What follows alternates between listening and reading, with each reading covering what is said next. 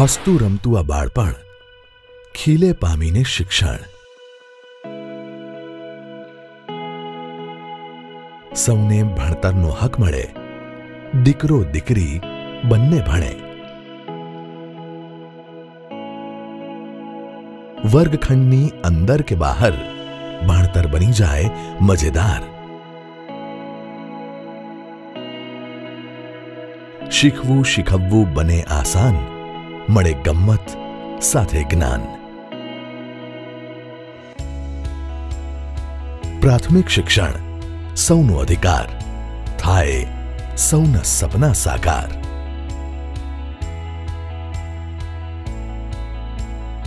પ્રાથમિક શિક્ષણને બાળકોના મૂળભૂત અધિકાર તરીકે ગણીને ગુજરાત સરકારે રાજ્યના છ થી ચૌદ વર્ષની ઉંમરના દરેક બાળકને તેની નજીકની શાળામાં પ્રાથમિક શિક્ષણ પૂરું થતા સુધી મફત અને ફરજિયાત શિક્ષણ પૂરું પાડવાની દિશામાં અનેક નક્કર પગલાં લીધા છે. રાજ્યમાં પ્રાથમિક શિક્ષણનો વ્યાપ વધારવા, પ્રાથમિક શાળાઓની સંખ્યામાં વધારો કરવા, પ્રાથમિક શિક્ષણની ગુણવત્તામાં ઉત્તરોત્તર સુધારો કરવા, ડ્રોપઆઉટ દર ન્યૂનતમ કરવા તેમજ શિક્ષકોને પણ યોગ્ય તાલીમ આપીને કૌશલ્યવર્ધન હાંસલ કરવા ગુજરાત સરકાર સતત પ્રયત્નશીલ છે. ગુજરાતના ભૂતપૂર્વ મુખ્યમંત્રી અને દેશના દીર્ઘદ્રષ્ટા પ્રધાનમંત્રી શ્રી નરેન્દ્ર મોદીએ રોપેલું કન્યા કેળવણી અને શાળા પ્રવેશોત્સવનું વિચાર બીજ આજે એક વિશાળ વટવૃક્ષ બની ચૂક્યું છે.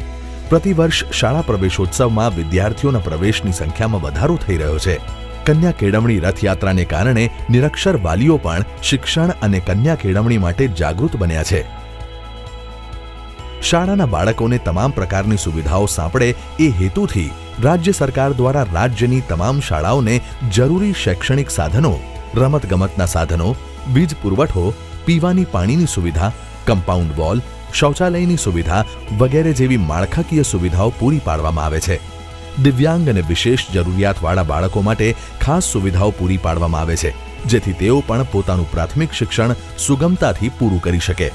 દેશની આવતીકાલ સમા આજના વિદ્યાર્થીઓને તંદુરસ્ત રાખવા માટે તેઓને ગુણવત્તાયુક્ત મધ્યાહન ભોજન પૂરું પાડવામાં આવે છે.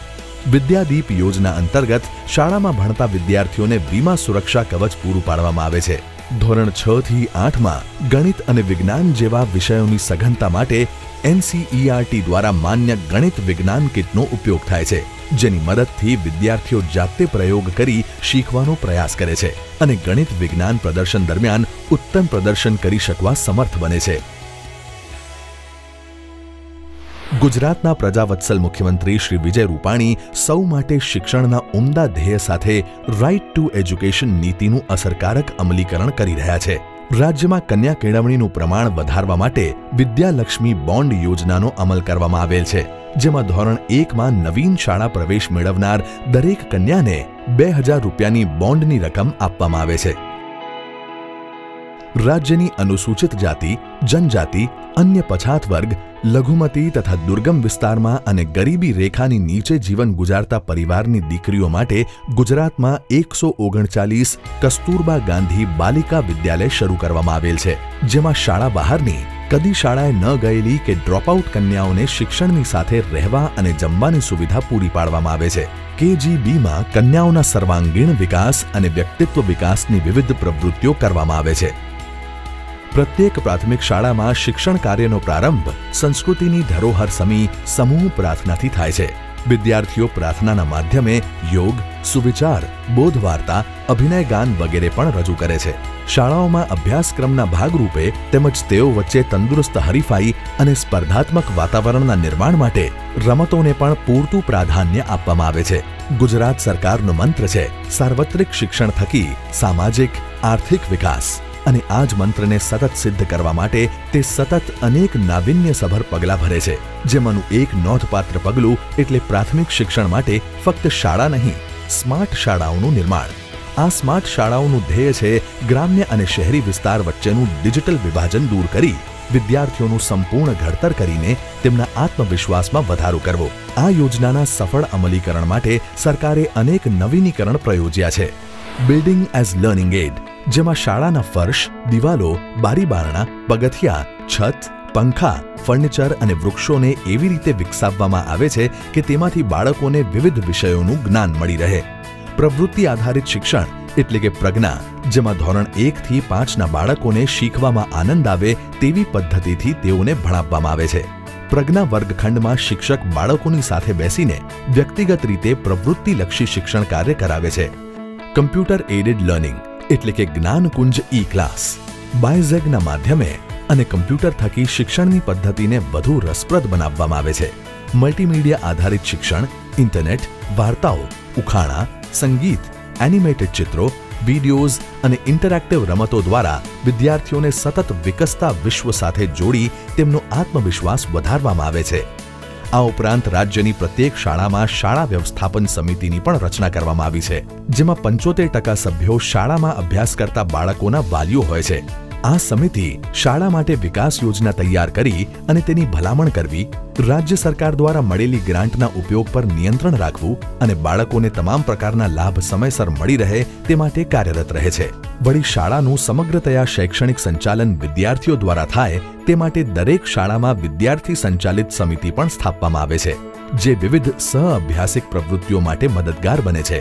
તેના આયોજન માટે સ્વૈચ્છિક જવાબદારીઓ સ્વીકારી તેને નિભાવવા માટે સંનિષ્ઠ પ્રયાસો કરે છે.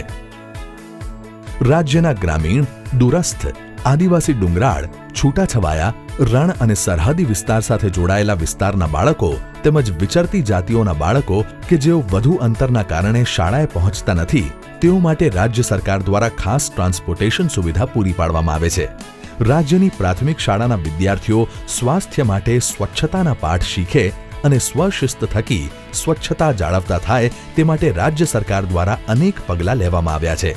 જેવા કે, પ્રત્યેક શાળામાં છોકરા છોકરીઓ માટે અલગ શૌચાલયોનું નિર્માણ. શાળાઓને અપાતી સ્વચ્છતા ગ્રાન્ટમાં વધારો ડબ્લ્યુએચઓ યુનિસેફ જેવી વૈશ્વિક સંસ્થાઓની સહાયથી વિદ્યાર્થીઓમાં સ્વાસ્થ્ય વિકાસ યોજના અને દર વર્ષે આરોગ્ય ચકાસણી કાર્યક્રમમાં બાળકોની તપાસ, નિદાન અને સારવાર. વળી ગ્રીન સ્કૂલ કાર્યક્રમ અંતર્ગત બાળકોને વૃક્ષારોપણ, વૃક્ષોનું જતન, પાણીનો યોગ્ય ઉપયોગ, આરોગ્ય અંતર્ગત આસપાસના વાતાવરણની સફાઈ, કચરાનો યોગ્ય નિકાલ ઉર્જાનો કાર્યક્ષમ ઉપયોગ વગેરે જેવા પાઠ ભણાવવામાં આવે છે. બાળકોને ગુણવત્તાયુક્ત શિક્ષણ પૂરું પાડવા માટે કુશળ અને યોગ્ય શિક્ષકોની ભરતી માટે રાજ્ય સરકાર નોંધપાત્ર પગલાં લે છે. બાળકોને ભણાવવાની પદ્ધતિઓ અને શિક્ષણની ગુણવત્તામાં સુધાર માટે પ્રાથમિક શાળાના શિક્ષકોને સમયાંતરે ખાસ તાલીમ આપવામાં આવે છે. બાળકોને શિક્ષણનો જીવન વ્યવહારમાં ઉપયોગ શીખવવા માટે દર વર્ષે લાઈફ સ્કિલ મેળાનું આયોજન થાય છે. બાળકોના સર્વાંગીણ વિકાસ માટે બાળમેળા રમતોત્સવ અને કલા ઉત્સવ જેવા આયોજન દ્વારા પ્રતિભાવંત બાળકોને શાળાથી લઈને રાજ્ય સુધી પ્રશિક્ષિત અને પ્રોત્સાહિત કરવામાં આવે છે. આ ઉપરાંત વિદ્યાર્થીઓ માટે ખાસ ગુણોત્સવના આયોજન થકી બાળકોની શીખવાની ક્ષમતાના પરિણામો, સહઅભ્યાસિક પ્રવૃત્તિઓ, સતત અને સર્વાગ્રહી મૂલ્યાંકન વગેરે પર ખાસ ભાર મૂકવામાં આવે છે. પ્રાથમિક શિક્ષણના રાજ્ય સરકાર દ્વારા થતા આ બધા જ પ્રયાસોની ફળશ્રુતિ ચકાસવા માટે દર વર્ષે ગુણોત્સવનું આયોજન થાય છે, જેમાં બાળકોની શૈક્ષણિક સિદ્ધિ ઉપરાંત શાળાની સહ અભ્યાસિક પ્રવૃત્તિઓ અને સંસાધનોના ઉપયોગનું મૂલ્યાંકન થાય છે. સફળતાના મંજિલ ભણી પહેલું સોપાન છે પ્રાથમિક શિક્ષણ. વિદ્યાર્થીઓ માટે વિકાસનું વરદાન છે પ્રાથમિક શિક્ષણ. એક ઉજ્જવળ ભવિષ્યનો આધાર છે પ્રાથમિક શિક્ષણ. અને એટલે જ પ્રત્યેક બાળકનો અધિકાર છે પ્રાથમિક શિક્ષણ.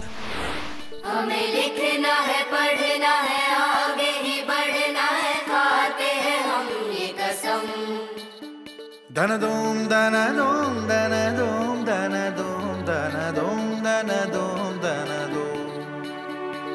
ज्ञान का रसता है शिक्षा का रसता है उसी पे चलेंगे